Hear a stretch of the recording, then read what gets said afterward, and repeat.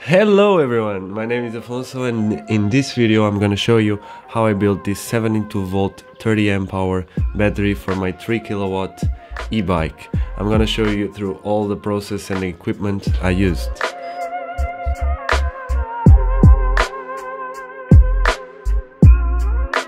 First of all, lithium batteries are dangerous so be sure to inform yourself and be careful when working around this technology. We are starting with the Samsung 30Q cells. Uh, we have a total of 200 cells on this pack. Each one is 3.7 volts, 3 amp hours capacity and they can discharge up to 20 amps continuously. To connect each of them I'm using 10mm wide by 0.3mm thick uh, pure nickel strips and these can safely handle up to 25 amps. I'm using normal cell spacers. To provide the weld we are using a K-Weld spot welder alongside a Hobby King 3S 5 amp hour LiPo graphene battery capable of up to 1500 amps in a short pulse.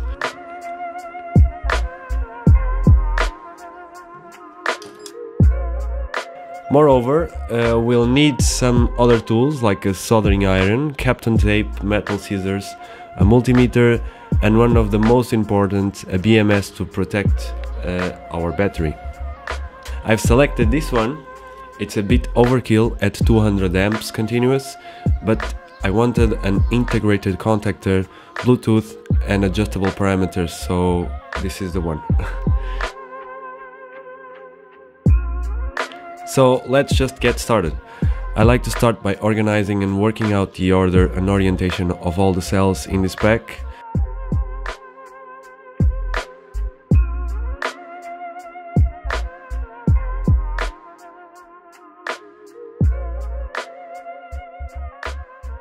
So for this battery, we connect uh, 20 cells in series and 10 in parallel. So if you multiply 20 by 10, you get 200 cells. That's our pack.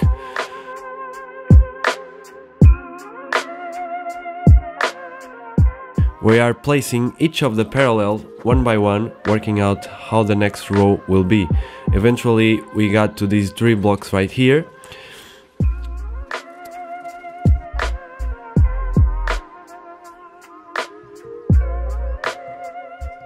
This is because we need to meet the requirements for the space on the e-bike.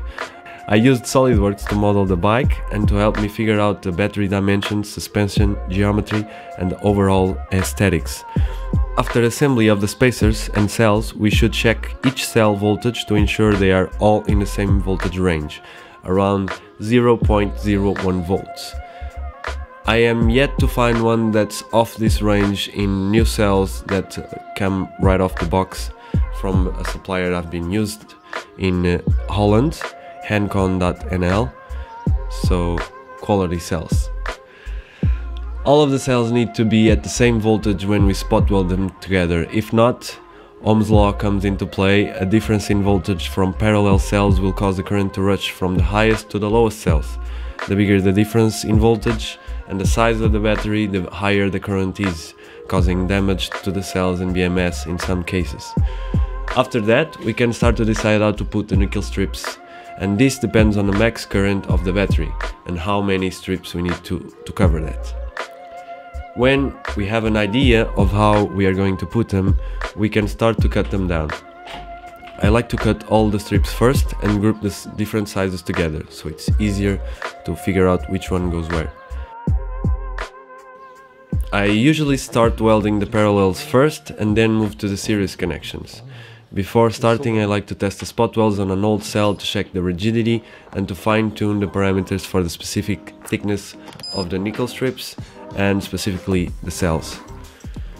While you are spot welding, focus on how the welds are coming together. The biggest problems I see with cheap spot welders is the consistency of welds as you are working. In this case, I had to stop sometimes to let the battery and welder cool down since I was welding 0.3mm strips which is the max rated for this specific spot welder. I recommend you use gloves. Apart from the possibility of shock, the oils in your hands can prevent some spot welds from really sticking, even though they seem fine.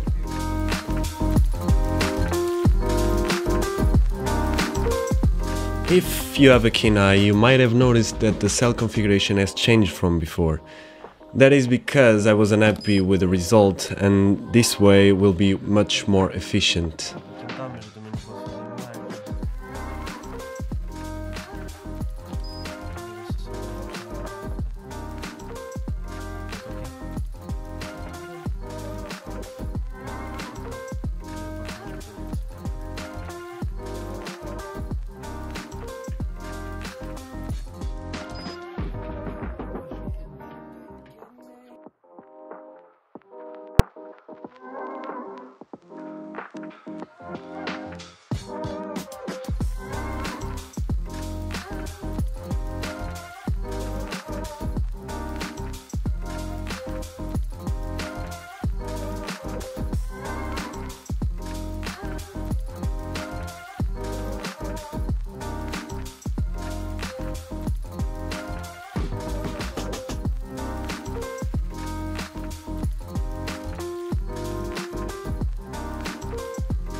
So all there is left to do now is connect the three blocks.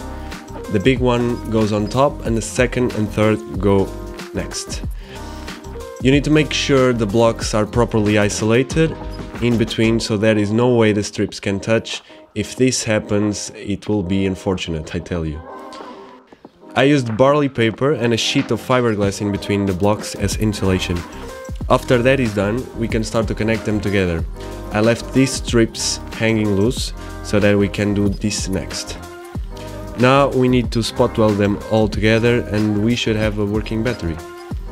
This is my result and all that is left to do now is the final wrapping, the case, BMS installation and the power cables. Stay tuned in for the next episode where I'll show you how to finish this battery pack. All the available links will be down in the description Thank you so much for watching. And if you have any questions, please them, leave them down below. And I'll see you next time. Bye bye.